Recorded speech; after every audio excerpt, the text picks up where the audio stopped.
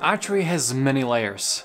There is a basic survival layer where the bow and arrow was used by our ancestors to hunt and make a living. It didn't take long for archery to move into second layer and that was fighting and killing. That's where archery stopped for many people.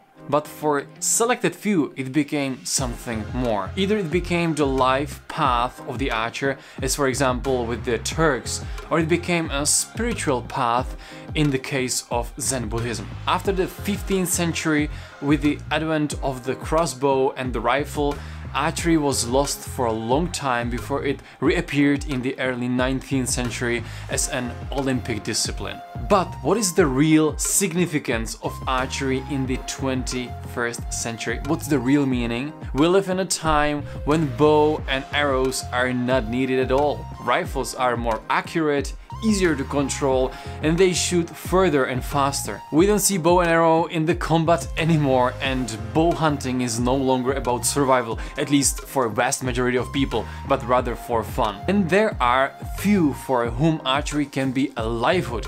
I'm not counting bow makers, I just mean pure archery like making some shows. But then, what is the real point of existence of archery in 21st century? My answer points to the life and spiritual path I mentioned at the beginning. I heard somewhere that archery is about mastery of repetition.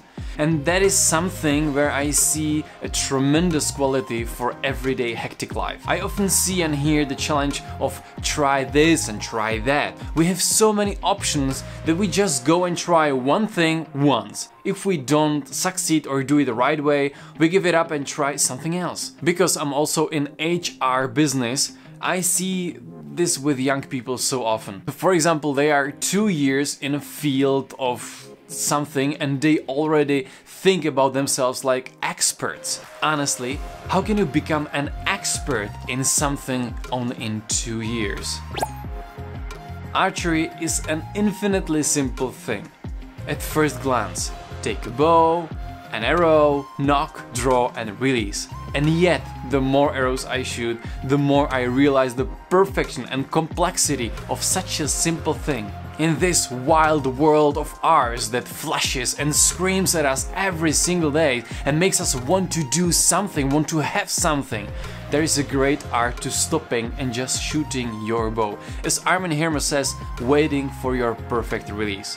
And do it 100, 200 times a day. For me, archery is an opportunity to stop, to calm the mind, to focus and to get at one with myself.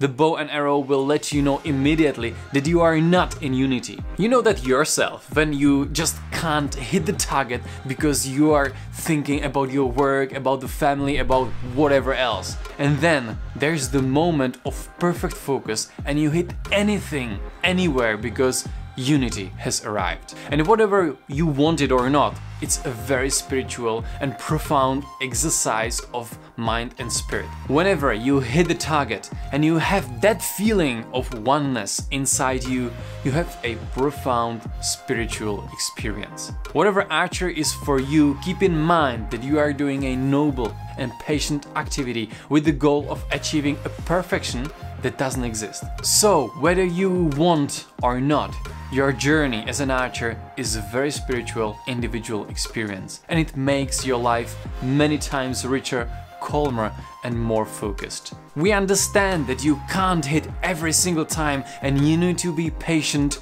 in your work. I think that's the importance of archery in this modern world that surrounds us. That's the meaning of archery in 21st century.